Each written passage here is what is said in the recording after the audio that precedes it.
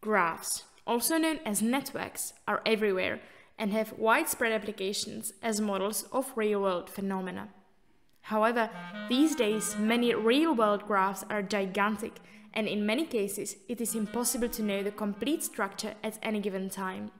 So it would be nice to have some sort of idealized approximations which can be fully understood and retain many features of large real-world graphs. This is the motivation for the subject of graph limit theory. In mathematics, a common way to approximate is to embed some space inside a complete space. For example, the set of rational numbers is contained in the set of real numbers, which is complete, and real numbers are limits of sequences of rational numbers. We often hear about rational approximations to pi, but we can also turn this around. The real number pi can be thought of as an idealized mathematical approximation of the complicated rational numbers that one obtains by measuring circles in the real world. We would like to do something similar, but the role of the rational numbers will be played by graphs instead. We would like to embed the space of graphs in a complete space, but what should the limit objects be? There are actually many different graph limit theories, each of which has its own strengths and weaknesses. For example, there is the theory of graphons. In this theory, a graph is first converted into a matrix, which is called the adjacency matrix of the graph. In this matrix, the entry in the ith row and jth column is 1 if vertices i and j are connected, and 0 if they are not connected. Then the adjacency matrix is turned into a picture with black and white pixels, black for 1 and white for 0. As the graphs get larger and larger, their pixel pictures get finer and finer, and the density of black pixels in a region can be approximated by a grayscale value. Assigning a number between 0 and 1 to each grayscale value, based on its darkness, the limit objects become certain functions on the square which take values in the unit interval. These functions are called graphons. This works well for so-called dense sequences of graphs, where the number of edges grows like the square of the number of vertices. But what happens for sparse sequences of graphs, where there are fewer edges? Consider, for example, the path graphs, whose pixel pictures look like this. As the paths get longer and longer, the proportion of black pixels goes to zero in every region of the picture. So the limiting graphon is just zero everywhere. And this is true for every sparse sequence of graphs, not just the path graphs.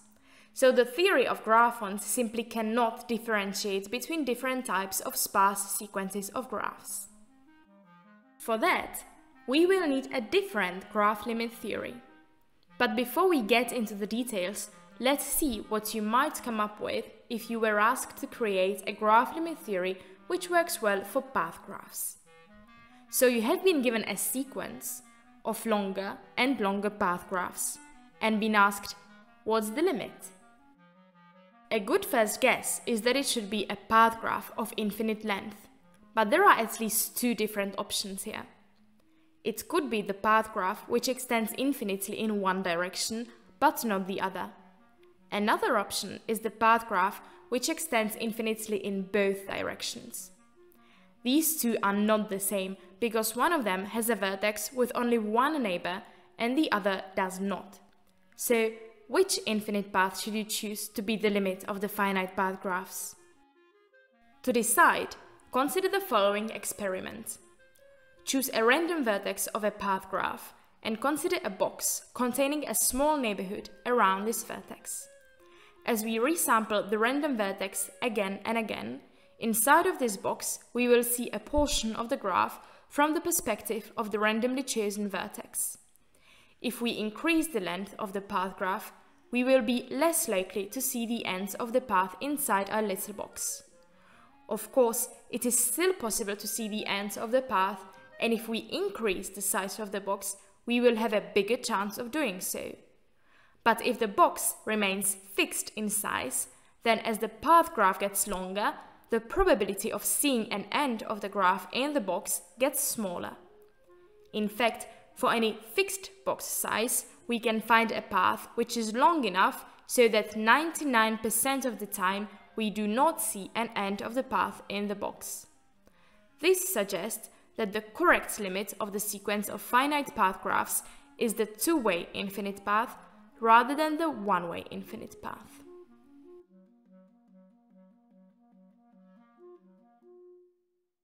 In this experiment, we examined small neighborhoods around a certain vertex, and we sampled that vertex randomly to get a statistical picture of the graph as a whole.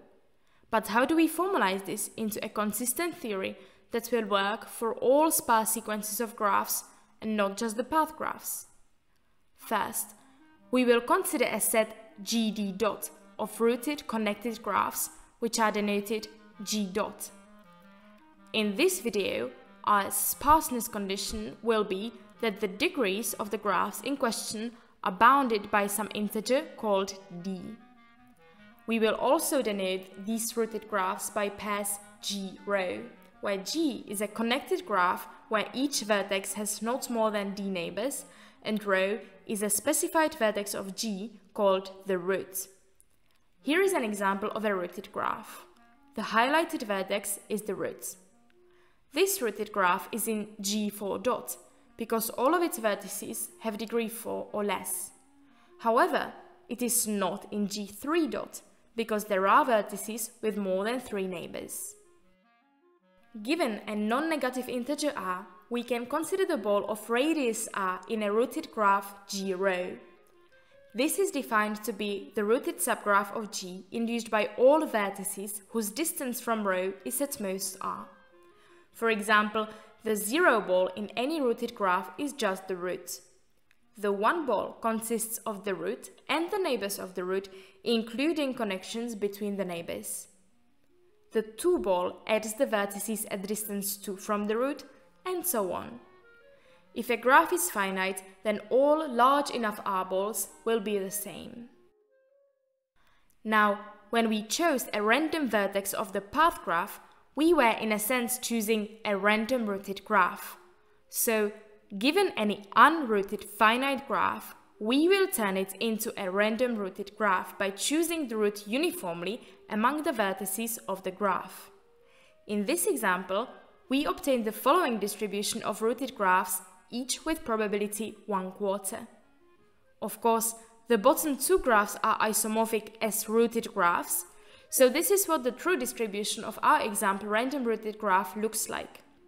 Notice that a random rooted graph is simply a random variable which takes values in GD dot, the set of rooted graphs. We will denote random rooted graphs with boldface letters, still keeping the dot to denote the rootedness. And we say that G is the limit of the random rooted graphs Gn if and only if, for all natural numbers r and for all fixed rooted graphs h in GD dot, the probability that the r ball in G equals the r ball in H is the limit of the corresponding probabilities for Gn. So, going back to our sequence of path graphs, we identify each unrooted path graph with a random rooted graph such that each vertex is chosen as the root with probability 1 over n. And our experiment suggested that the limit of these random rooted graphs is the random rooted graph, which is the rooted two-way infinite path with probability 1.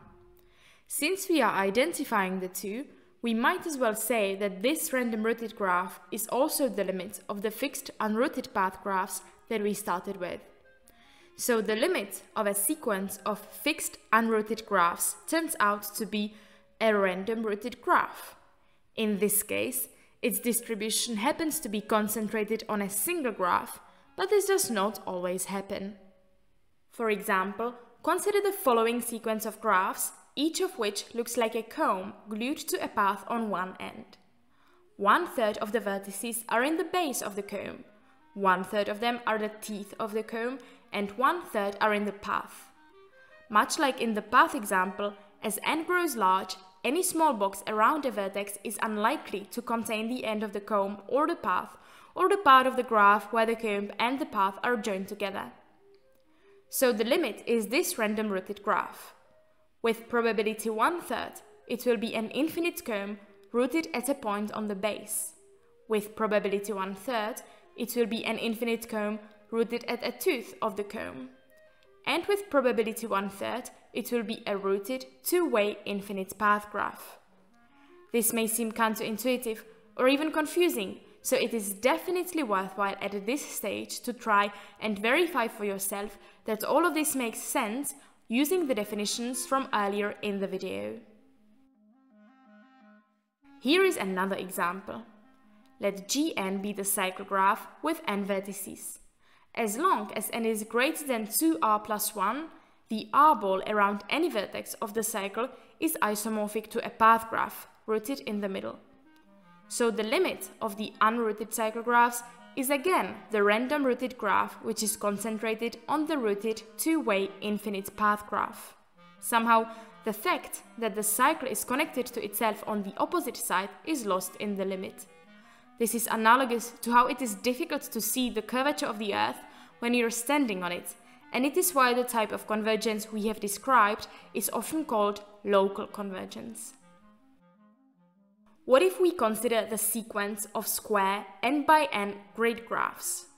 Analogously to the limit of the path graphs, the limit here is concentrated on the rooted grid, which extends infinitely in all directions. This works for much the same reasons as the path example, because the number of vertices in the boundary of the finite grid is asymptotically small compared with the number of vertices in the whole grid. But what about this sequence of graphs, where at each stage every degree 1 vertex sprouts two new neighbors? What is the random rooted graph, which is the limit of this sequence? For extra points, try to work out exactly what the limit should be. But how do we even know that there is a limit for that last sequence of graphs? Surely there are some sequences which don't converge at all, right? Well, yes, there are, but actually every sequence of graphs with uniformly bounded maximum degree at least has a subsequence which converges in the sense which we have described. To prove this, we will need to invoke some powerful tools from probability theory. For this section, we will also need to assume some familiarity with general topology. Indeed, the local convergence we have described turns the set of random rooted graphs into a compact topological space. First of all, a random rooted graph can be identified with a Borel probability measure on GD dot, namely its probability distribution. With this identification, the local convergence of random rooted graphs we have described is the same thing as weak convergence of probability measures. Now, we won't define what weak convergence is in its full generality, but we will state a theorem about it due to Prokhorov. Suppose X is a compact separable metric space. Let P of x be the set of all Borel probability measures on x. Then P of x, with the topology of weak convergence, is also compact. We would like to apply this theorem to our space of rooted graphs GD dot. But to do this, we need GD dot to be a compact separable metric space.